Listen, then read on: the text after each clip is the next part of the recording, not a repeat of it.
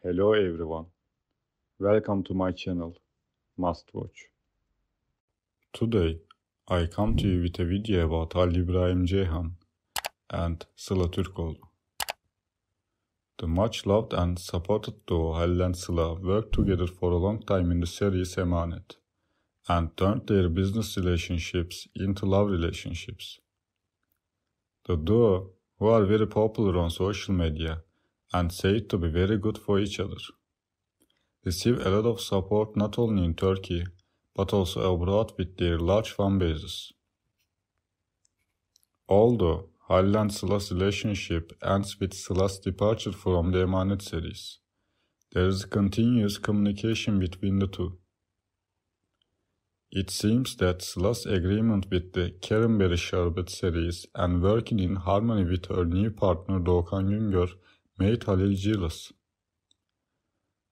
The fan pages opened in the name of Doğukan and Sıla also seem to make Halil jealous.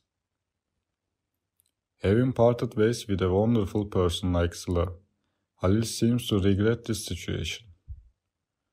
Nowadays, the fact that Doğukan and Sıla spent a lot of time together and perform well in the series is appreciated by everyone.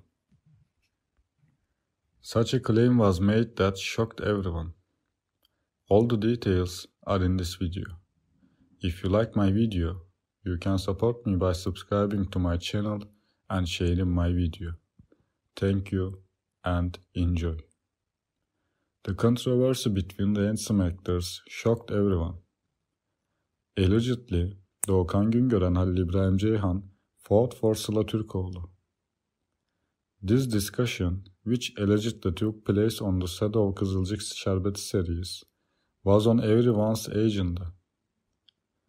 It's claimed that Halil İbrahim Ceyhan, who had a relationship with Sıla before, was jealous of Sıla and Doğukan. Doğukan and Sıla, who have a good compatibility, have not yet made a statement. Thanks so much for watching my video. See you in the next video. Take care and goodbye.